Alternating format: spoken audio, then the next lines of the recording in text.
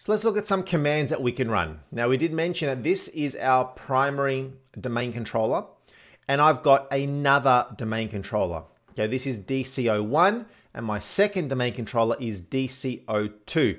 Now let's say for whatever reason I've got users in another site, in another state, they generally would authenticate against DC02, but they're having issues, they're having lag issues or something is not working correctly what we do is we can go into our command prompt into PowerShell, essentially their Active Directory PowerShell commands to troubleshoot replication between our domain controllers. We want to make sure that our domain controllers remain in sync. Now, by default, the domains will be in sync uh, over a certain amount of time. When you enter in a user, for example, you create a brand new user account on your domain controller in Active Directory here, theoretically, Every other Active Directory instance across every other domain controller will also get that user added once those domain controllers replicate and sync with each other.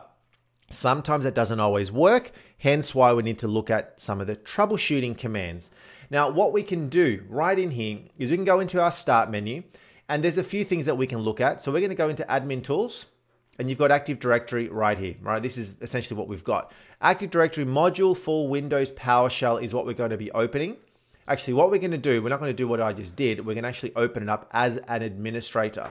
So I'm going to right click on it and I'm going to say run as administrator. It's always good practice to run as administrator uh, any form of command prompts that you may be running, okay? Because that way you'll have full permissions into everything.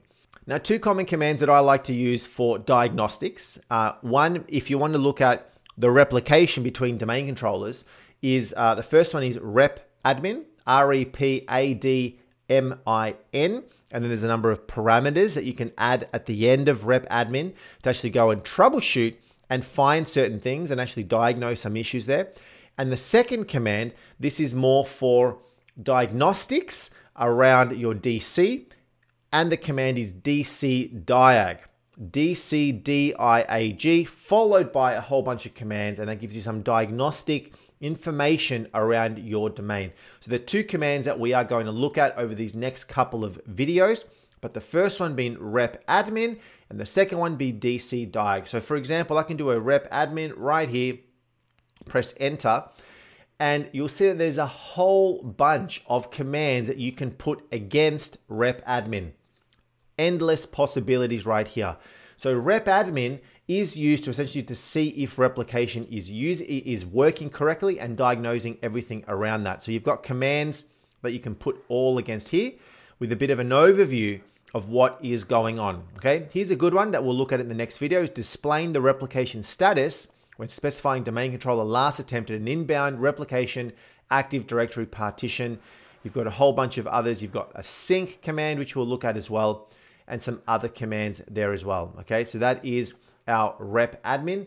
Perfect command that you can use consistently to troubleshoot and diagnose replication between your domain controllers. Okay, the next command right here that we are going to run is the DC diag command. Okay, very similar. If I press on enter, here's a few things that's going on. All right, so this is now uh, diagnosing and troubleshooting a bit of my Active Directory. Okay, it's going to check a number of things Okay, it's checking my primary DC. It passed connectivity, great.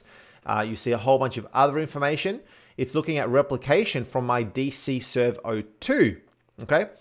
And here's a few things, right? Here's a summary of what's going on. We're gonna go into a little bit more detail in this in the next video, but you can see a few things that have happened here. You've got some failures, you've got some other things that maybe didn't work as well as you were hoping, um, but this gives you a real good snapshot on the health of your domain controller. DCO Serve 1 failed testing this, right? And you can sort of see what is going on. Some things have passed, some things have failed.